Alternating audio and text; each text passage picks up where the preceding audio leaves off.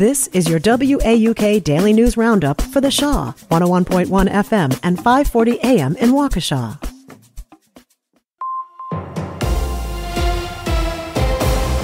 Civic Media News, I'm Terry Bell. Here's what Wisconsin needs to know. Families of inmates at the Waupun State Prison are keeping up the pressure for reforms. Family, friends, and former inmates held a protest Sunday.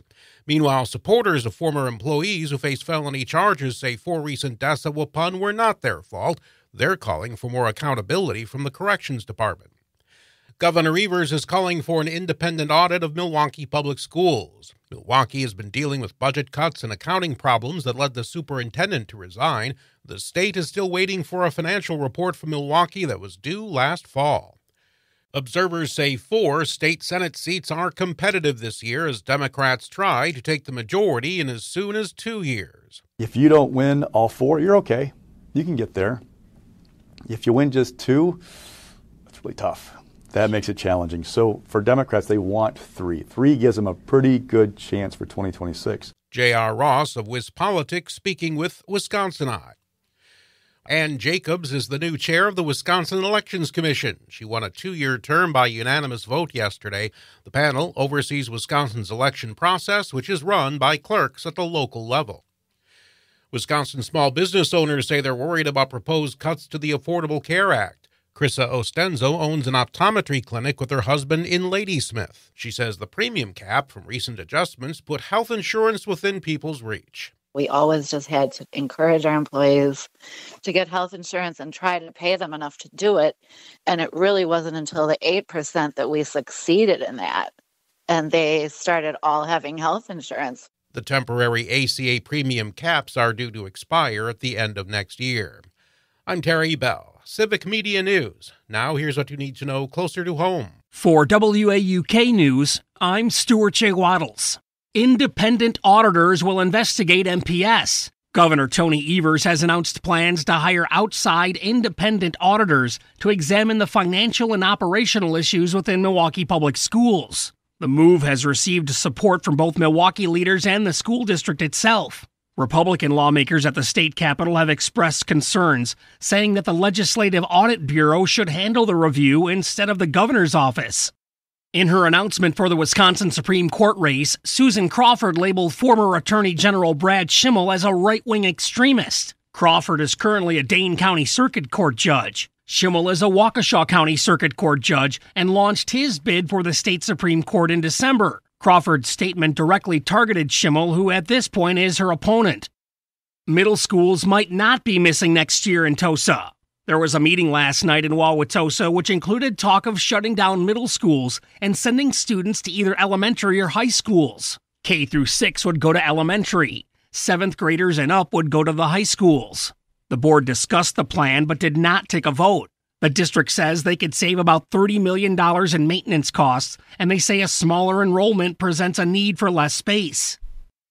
A safety alert is out due to a sinkhole in the area. The warning was put out Sunday by the Whitefish Bay Police Department. They were telling people to steer clear of the entrance to the Big Bay Buckley Park. The sinkhole has formed, leaving the ground unstable. Caution tape and cones have been set up. It's believed recent rain caused the issue, with crews working to make a fix.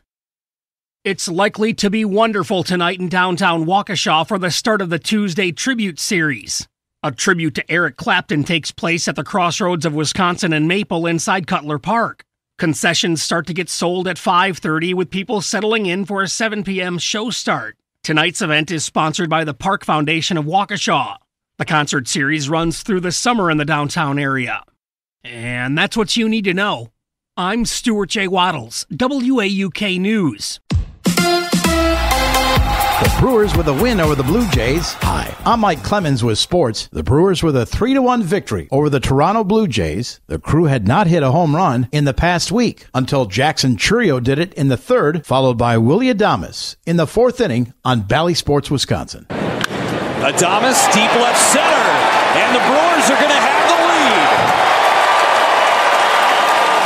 Number 10 for Willy. That was a bomb. Brewers manager Pat Murphy. Willy's such a competitor.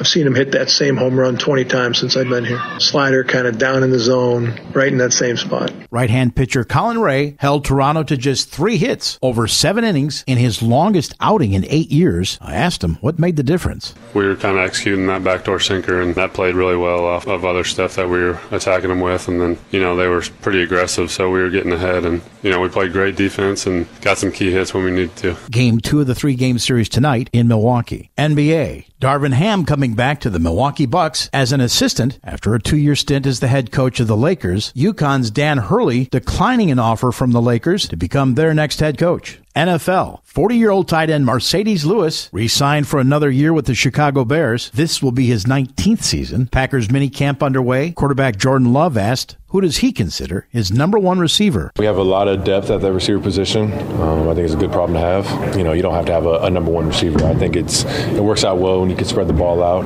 I think in the long run it, it helps us not having a number one guy, a true number one guy. But um, I think all those guys can step up and be the one, you know, any given day. That's the Packers' Jordan Love with sports. I'm Mike Clemens. On your entertainment beat, I'm Pete Schwaba. Comedian and actor George Lopez is at odds with the California casino after his show ended 30 minutes early. According to Deadline, the comedian got into it with hecklers from the stage. Lopez and his security team claim the club did nothing to calm the unruly crowd, making Lopez feel unsafe. The Eagle Mountain Casino in Porterville, California sees it differently, posting on Facebook that Lopez yelled at the audience and his security team did nothing to ease the tension or remove anyone. Either way, you don't hear of a comedian heckling the audience and removing himself very often. There is a new Lord of the Rings film in the works. Producer Peter Jackson is at work on Lord of the Rings The Hunt for Gollum. If you're wondering if Sir Ian McKellen would return to play Gandalf, he is willing, but he has one condition, saying he will do it only if he's alive. Such a diva. McKellen told the Times of London there is no script, no plan, and no offer, but seemed open to doing it. Here's one of Pete's picks. Richard Linklater's latest film, Hitman, starring and co written by lead actor Glen Powell, is really good. Powell plays a college professor but works for the police by night, pretending to be a hitman to entrap those looking to have people killed. The story is filled with fun turns, suspense, sweet romance, and is based on a true story. Hitman can be streamed on Netflix and received excellent reviews. What do you do to help restore your image after you accost the host of the Oscars? You show that you are a man of the people by watching your new film Bad Boys Ride or Die with the commoners. That is what Will Smith did, actually sitting right in the middle of a crowded theater. The actor revealed himself after the end credits. Oh, yeah. And you also make sure fan reaction is captured on TikTok by the theater manager, and that there's another camera outside to capture the glory. When Smith went in for handshakes or hugs, most flinched, but no one was slapped. He is back.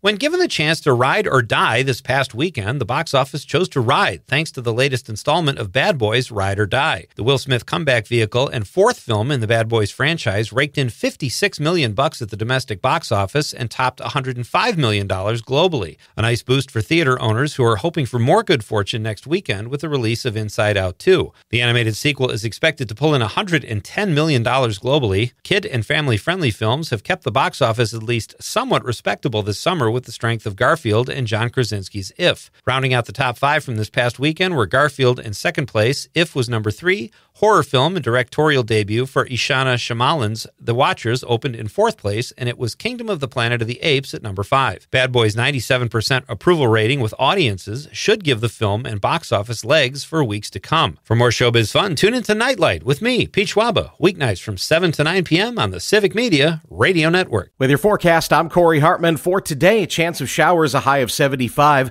A few showers or thunderstorms tonight. We'll see a low of 60. For Wednesday, sunshine and a high near 85. For Wednesday night, a scattered storm, otherwise mostly cloudy, and a low of 66. Showers in 86 Thursday. Right now, it's 55. That's your WAUK Daily News Roundup from Civic Media. Subscribe to this podcast on Spotify, Apple, or wherever you find your podcasts. Find more news at WAUKradio.com.